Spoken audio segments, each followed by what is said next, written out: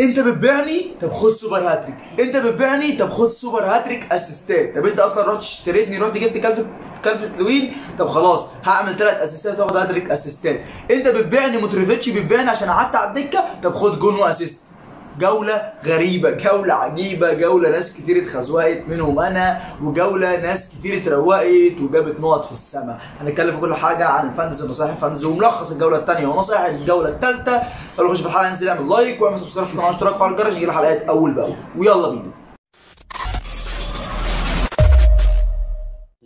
حطني رقم واحد في القصيم الجولة دي بعد ما طلعت لكم بعد الجولة الأولى واديتكم نصيحه الجولة الثانية قلت لكم شوية لعيبة جيبوها ممكن تعمل حاجة وكباتن ممكن تعمل حاجة. أنا من أول المتخزوقين جبت الجولة دي جبت 55 نقطة. اتخزوقت من ناس كتير. اتخزوقت من دوهيرتي اللي جاب لي صفر. اتخزوقت من آه، لوكا دين اللي جاب لي نقطة. دالاس بتاع لي- ليدز اللي جاب لي برضه نقطة. سان ماكسمام ويلسون. خوازيق كتير في في الجولة دي مع إني كنت حاطط أمل كبير على الجولة دي وكنت حاطط أمل كبير عليها لكن خرجت بخزوقه أكتر لاعب جاب نقط الجولة دي هو هيون مين سون ال- سونالدو. جاب 24 نقطة جاب super hat-trick ضد ساوثهامبتون وكسبوا 5-0 لتوتنهام جولة عجيبة جولة غريبة. أنا خزوقت وجبت نقط قليلة جدا مع إني كنت حاطط أمل كبير. كابتنت الجولة دي أوباميانج ضد ويست هام. قلت ويست هام بقى دفاعهم ضعيف. ديفيد مويس ممكن ينزل أوباميانج يجيب جون واثنين وثلاثة. نزل اوباميانج جاب جون واحد بس وكسبوا بطلوع الروح يعني. أرسنال حتى أنا محمد صلاح ما عملش أي حاجة. آه، وراين راين جاب لي جاب لي ست نقط وكان عندي بن وايت على الدكة برضه جاب لي ست نقط بس. قدر ما مش عارف على الجوله كان ال average بتاعها 59 أنا جايب 55 أقل من ال average باربع بأربع نقط. ممكن الجولة الثانية ممكن أعمل فيها واحد في نتكلم على خوازيق الجوله وخوازيق الجوله دي كانوا كتير حبتين. كان أولهم محمد صلاح ضد تشيلسي الناس كتيرة جدا. كان معاها ماني وبعد الجوله الأولى راحت باعت ماني وجابت محمد صلاح. فمحمد صلاح ما عملش أي حاجة في المباراة ولا حتى عمل assist وماني جاب جونين. فأنت أول خازوق معاك هو محمد صلاح. بس ده مش معناه إن أنت تروح تجري بيها محمد صلاح وتجيب ماني تاني. لا اصبر يا معلم. هي اللعبة دي لازم تصبر فيها. لو أنت أول مرة تلعب fantasy فأنت لازم الصبر. لازم لازم لازم لازم الصبر. الخازوق التاني واللي بقاله تقريبا جولتين بيخزوق الناس هو سان ماكس مان بتاع آه، نيوكاسل مش عامل أي حاجة وبنسبة كبيرة ناس كتير هتبيعه. وأنا من الناس دي سان ماكس مان جاب نقطة الجولة دي وزميله فريق ويلسون برضه خزوق الناس وجاب نقطتين فدول تاني الخوازيق معانا الجولة دي. خازوق التالت بقى واللي دون معانا من أول الموسم وكنا حاطين عليه أمل كبير جدا زي ما كان بيلعب في الولفز وهو دوهيرتي. دوهيرتي في توتنهام من ساعة ما جه ما عملش أي حاجة ولا عمل أسيستات ولا حتى clean sheet في الجولتين اللي كان معايا فيهم. جاب صفر صابر عليه عندي أمل انه يعمل حاجات الجولة الجاية. بس صبري مش هيقعد كتير هو بكتير قوي الجولة الجاية والجولة اللي بعديها. وهفلسع وهفلسع دوهيرتي خازوق الرابع معانا بقى وهو لوكا دين. لوكا دين ناس كتير جدا كانت جايباه وناس حاطة أمل عليه اللي يعمل assist في ماتش إيفرتون مع إن إيفرتون كسب خمسة ويست بروم بس لوكا دين ما طلعش ولا حتى بجون ولا ب assist. خازوق الخامس بقى وهي مانشستر يونايتد ككل. راشفورد ومارتيال وبرونو فرنانديز وبوجبا وحتى دخيا ودفاع يونايتد وكل الناس. يونايتد كان خازوق كبير جدا قعدتوا له الجوله اللي فاتت. عايزين تجيبوا حد من يونايتد تجيبوا مارتيال وجيبوا راشفورد. ممكن دول يعملوا حاجة وممكن كمان تحطوا في الكابتنة ال differential أو الكابتنة الريسكية أو الكابتنة الصايعة. وما عملوش أي حاجة وخسروا ثلاثة ولا حتى اللي جاب الجون اللاعب اللي نزل على الدكه فان دي بيك اللي ما حدش تقريبا جابه في fantasy كله. فبصراحة الخازوق الخامس هو مانشستر يونايتد. الخازوق السادس وبرضه ناس كتيرة جدا بتفكر ليه تبيعه هو تاني فيرنر. فيرنر ناس كتير بتفكر تبيعه لكن فيرنر هو اللاعب الوحيد اللي شغال في تشيلسي لحد الآن من الصفقات الجديدة. حكيم زياش مصاب تياجو سيلفا مصاب آه، تشيلويل مصاب حتى هافرتس اللي في أرض الملعب مش مؤدي الأداء المطلوب منه. فاللاعب اللي موجود واللي و- نعم كان خازوق الجولة دي وخازوق الجولة اللي فاتت ضد برايتون ضد ليفربول بس عنده الماتش الجاي ويست بروم. فانت لو معاك فيرنر ما تبيعوش تماما لأن 100% هيعمل حاجة ضد ويست بروم الماتش الجاي. تعالى بقى نخش على الفاكهة بتاعت الجولة والناس اللي روقت الجولة.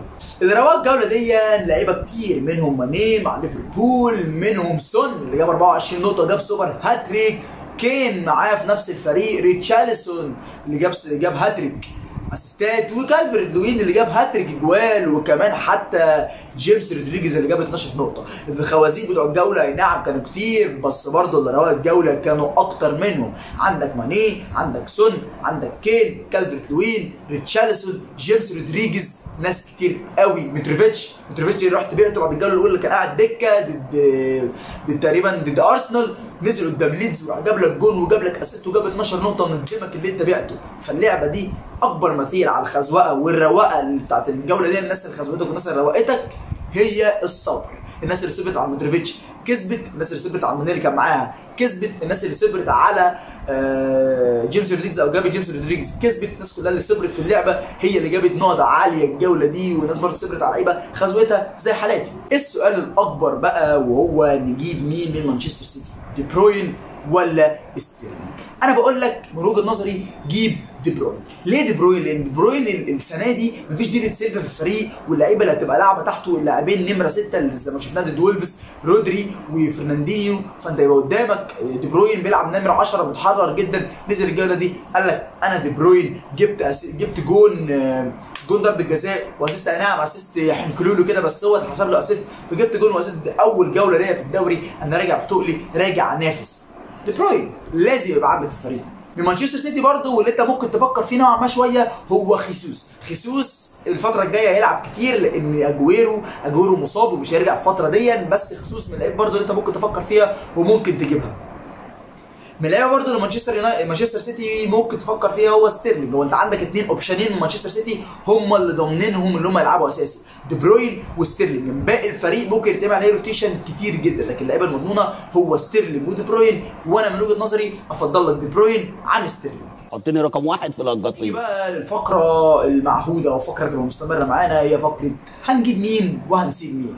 أول لاعب في هنجيب مين هو كالفيرت لوين. ناس كتير تقول لي يا معلم في أرض الملعب ريتشارلسون زي كالفيرت لوين بالظبط بس أنا بقول لك جيب كالفيرت لوين عن ريتشارلسون. ليه بقى؟ لأن كالفيرت لوين هو اللي قريب أكتر من الجول كالفيرت لوين الفريق كله بيخدم عليه ريتشارلسون بيخدم عليه لوكا دين بيخدم عليه جيمس بي- بيخدم عليه الفريق كله بيخدم على كالفيرت لوين اللي واقف جوه منطقه الجزاء ال fox in the box. الكوره بتجيله. تك جول تك جول بيلعب بدماغه كويس جدا بيلعب برجله كويس جدا. فكالفيرت لوين حل كويس جدا لو انت لسه ما جبتوش. اللاعب الثاني فهنجيب مين؟ هو بودنسي بودنسي اللاعب اللي بيلعب في وولفز اللي بيلعب نوعا ما حاليا دلوقتي بيلعب بدل يوتا اللي راح ليفربول. لاعب مضمون اللي هو لاعب أساسي في وولفز. لاعب حريف جدا لاعب بتاع الكورة تحت رجله. بيلعب بشكل كويس جدا. شفناه ضد مانشستر سيتي بيلعب بشكل كويس جدا جدا جدا. بيعمل اسيستات ضد شيفيلد عمل assist وعمل clean sheet ضد مانشستر سيتي.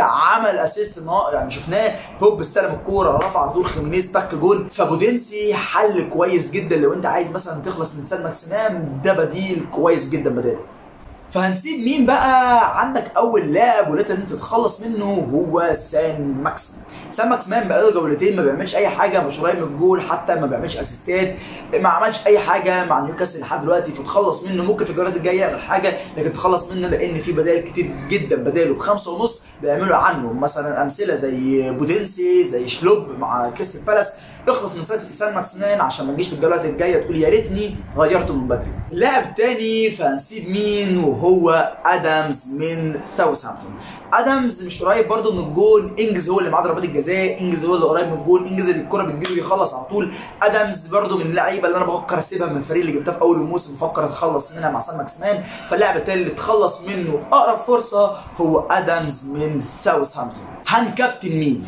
الكابتنه رقم واحد وهي نوعا ما المضمونة. أو اللعيب دوت لما بيلعب ضد أرسنال بيبقى كعبه عالي عليه وهو محمد صلاح. محمد صلاح ضد أرسنال بنشوفه كتير جدا بيبقى كعبه عالي على أرسنال بكتير. بيعمل ضد أرسنال ماتشات كويسة جدا بيجيب فيهم جوان كتير. فالكابتنة مضمونة عندك صلاح وعندك ماني من ليفربول. عندك برضه في الكابتنة المضمونة نوعا ما شوية وهو أوباميانج ضد ليفربول. أوباميانج شفناه بيلعب ضد ليفربول مرتين الموسم اللي فات وجاب فيهم جونين ولعب ضد في ال Community Shield برضه جاب جوان. فدفاع ليفربول مش الأقوى نوعا ما أو ممكن أوباميانج يختار ويجيب جوان. فممكن أوباميانج في الكابتنة المضمونة نوعا ما شوية. عندك برضه في الكابتنة المضمونة دي بروين ضد ليستر سيتي. عندك دي بروين ضد ليستر سيتي. ليستر سيتي دفاعها برضه مش هو الأقوى حاجة. فحد بيخش فيه جوان فدي بروين أكيد هياكل عيش على قفا دفاع ليستر سيتي.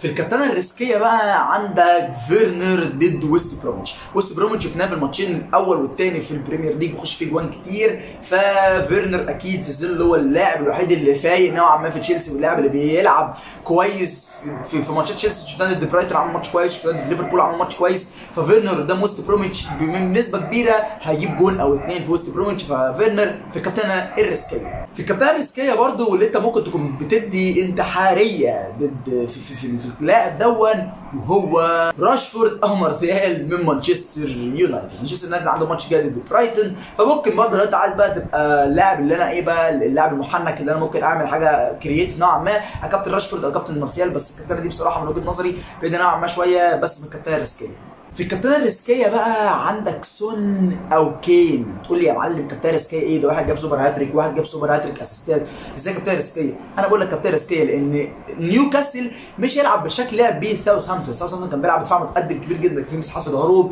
قدر يستغلها سون وقدر يستغلها كين. لكن نيوكاسل يبقى بيلعب دفاع compact مقفل جدا مش هيلاقي المساحات اللي كان بيلاقيها ساوثهامبتون فالكابتنه نوعا ما risky ه عندك سون عندك كين. نوعا ما من الكابتنه ال risky ة اللي ممكن يعمل حاجة ضد نيوكاسل. واحد يجي يقول لي يا معلم إزاي ما ما قلتش سون أو كين في الناس اللي هنجيبهم؟ أقول لك يا معلم أنت كده كده أكيد عندك واحد من سون أو عندك واحد من كين. أنت لو ما عندكش واحد من سون أو واحد من كين لازم تجيب حد منهم. لو برضه لسه بتفكر ما تجيبش حد منهم فانت اصبر نوعا ما. شوفهم ضد نيوكاسل شوفوا في الماتشات الجايين هيعملوا إيه. فممكن تكون ماتش ده كانت حلاوة تروح وراحت لحالها. في الكابتنة الصايعة بقى عندك كالفرت لوين أو خامس رودريجيز أو ريتشارلسون.